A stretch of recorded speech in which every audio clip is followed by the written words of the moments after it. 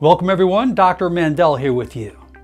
Here is a breathing technique designed to slow down the nervous system as well as your working mind by utilizing a technique where you're breathing out longer than you're breathing in. The purpose of this is to stimulate the vagus nerve. This is running from the neck down through the diaphragm.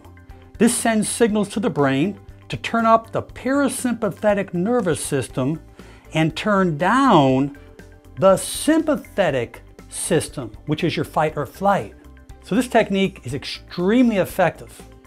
You'll start out breathing in through your nose, two seconds, and you'll breathe out of your mouth for four seconds. You'll do that for a minute to two. As you perfect that technique, you can then go to three seconds breathing in and six seconds breathing out. That's probably gonna be a good ratio for you. You'll do this for a couple of minutes. By breathing out longer than you're breathing in, that kicks up the parasympathetic nervous system, winding everything down in your body, lowering blood pressure, lowering respiration and pulse rate.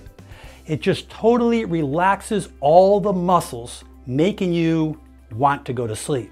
I hope this technique was very effective for you. Share this on your social media so we can help others worldwide. Leave your comments below because there will be many. And most important, make it a great day. I'm Dr. Alan Mandell.